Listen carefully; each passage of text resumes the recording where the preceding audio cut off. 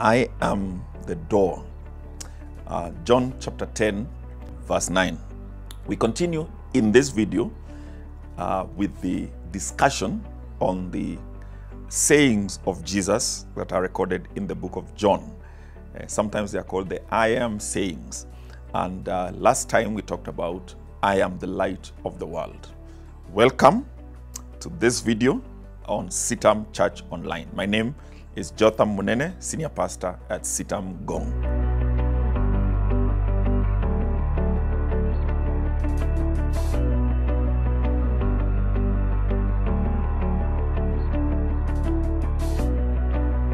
I am the door, said Jesus.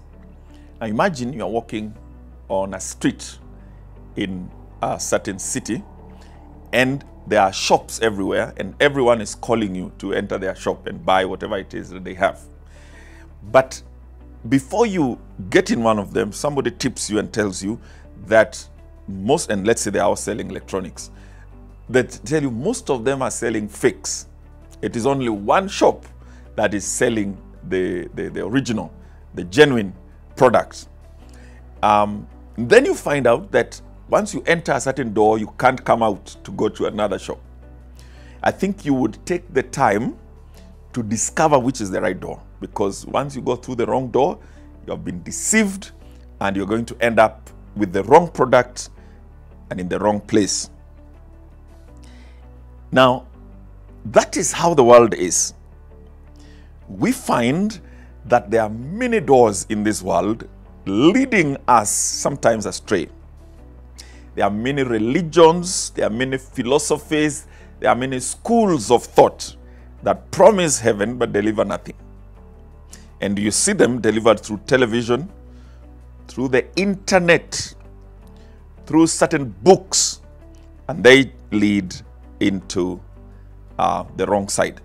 But if you are to get the right door as far as the knowledge of God is concerned and spiritual life is concerned, then you'll be assured that you are safe and that you are taken care of.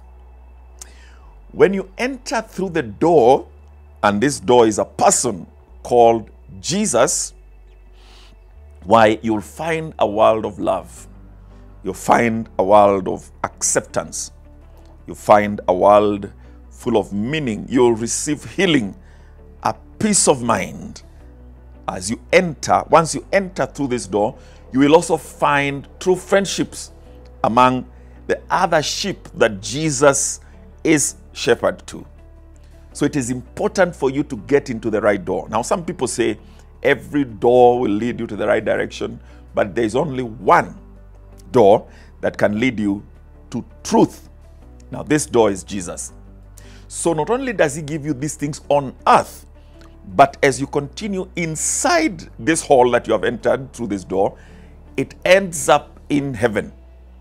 This is the only door that takes you to God the Father.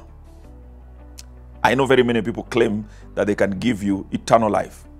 But at some point, Jesus says, I am the only one who has been to heaven.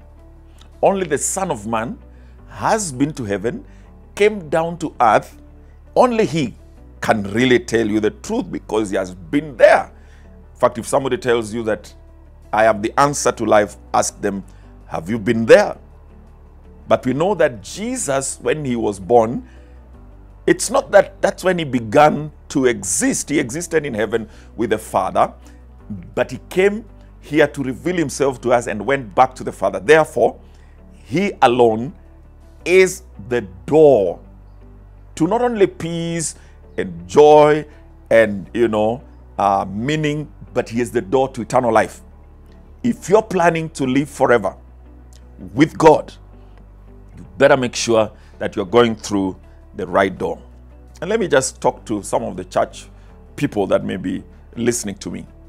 The door to eternal life is not baptism, it's not having a new name, it's not being confirmed, it's not having a church wedding, it's not giving your money to the church. The door is a person, and that is Jesus.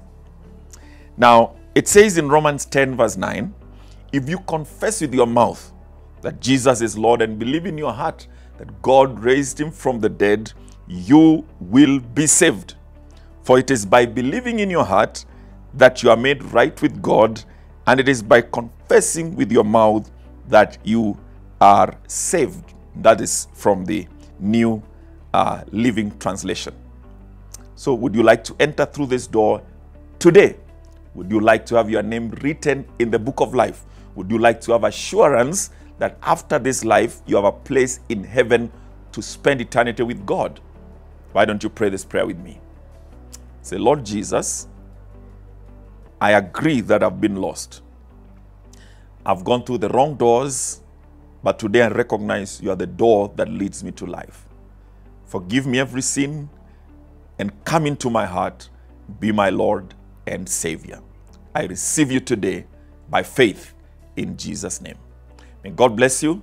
If you have a question, if you have a comment, please uh, get to us through the platforms below. And uh, again, my name is Jotham Munene, uh, CITAM Church Online. Thank you.